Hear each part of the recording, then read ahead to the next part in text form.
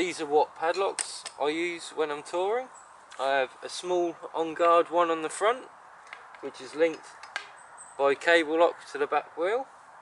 I have another D lock, I think this was, yeah, Oxford Hercules lock. This lock is connected the frame and the back rear wheel. Again, a strong weaved cable lock to, or cable, sorry, to uh, around the front wheel. Then we have this lock up here, which is a long OnGuard lock. This goes in between, normally it goes in between here onto a railing or around in between here onto a post or railing to lock it up. What padlocks not to use by themselves are any wires or weaved wires which are like cross-threaded inside the cable. And Poundland specials. I can't I won't be able to break this with my bare hands and yes I have tried.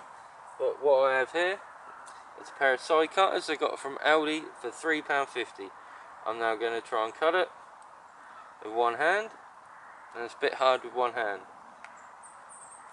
It's actually quite a tough tough one. Tough cable on hear it. No for Poundland I'm really surprised. This is my third cut no it hasn't gone yet. I see all the wires in there that are getting absolutely ruined by the way. And that that was that was that. I'm surprised that a Poundland padlock can survive. This is the fourth or fifth snip. Five snips.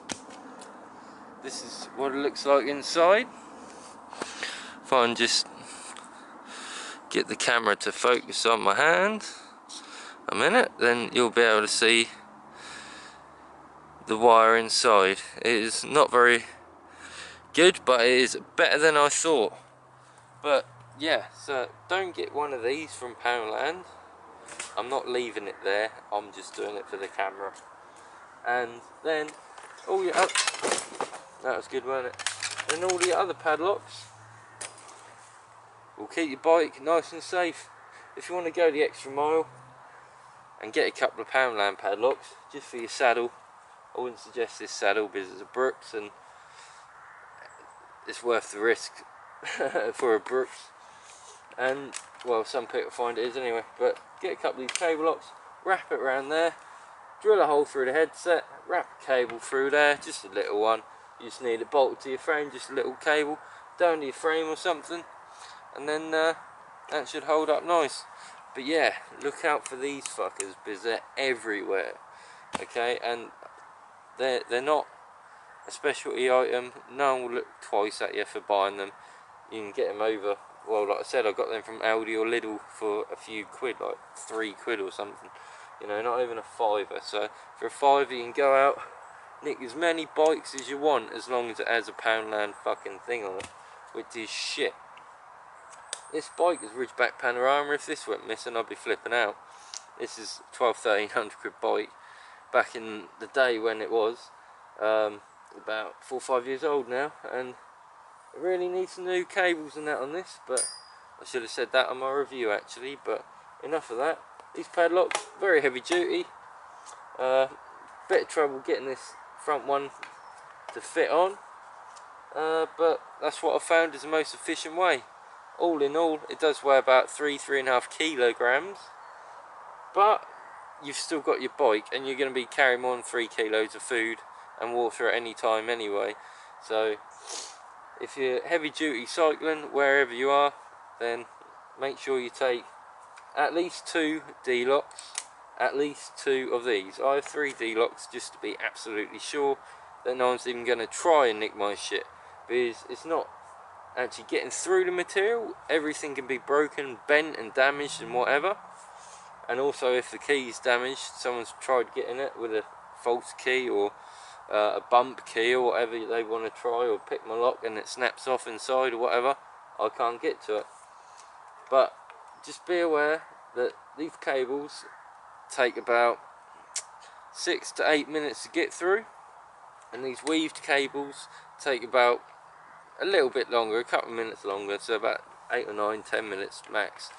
Um, if you've got a pair of these, that is. But if you come along with a proper pair of wire cutters for actual armour cable and stuff, they'll get through it, they'll nick your bike, they'll nick all your panniers, all your cameras, all your laptop or whatever, all your clothes, and you'll be stuck in the middle of Scotland with no bike and no way home. So, my advice, get three pad D-locks, two or three army cables, and some steel cabling to go around your panniers so no one nicks your panniers, because that's your main, your main home, that is. And you can't really replace that when you're out on the road, especially when you're like me and you're on a budget. So invest in a good bike, good padlocks, and a good seat, and keep your seats safe. Most people take them off, but luckily for me, this is welded in there, so I don't have to lock that up. I've got something just buzzed past me. I've got front skewer on my bike, quick release skewer, and on the rear I have as well. I've just noticed. But then again, locking it up like this, no one's going to be cutting through the rim of the bike in two places just get the padlock off because that would ruin the wheel anyway. Uh, if I was a thief and looked at this bike, I think you might as well just cut through the post it's attached to and then uh, lift the whole bike into your van. But by that time, uh, the police would be on to you, mate. And if I caught you nicking my bike, you're fucking trouble. So that's what I use, and I hope this helped. And don't help, and help. You should help yourself by not going to Poundland. So for bicycle things, it's alright if you go in the shop for two minutes. Uh, it took me under a minute to get through it. I could have done it faster, but I just wanted to do it straight cuts. So it show that how crap it was, but I was pleasantly surprised. Why I cut that was I bought it for my panniers, to lock my panniers up. And unfortunately, in Poundland, I didn't see, well, it was my own fault really, I didn't check that the keys were with the lock. So, if you're a dumbass like me, that's fine, that's more than, that's fine and acceptable, but just learn by my mistake and remember to make sure the keys come with the padlock.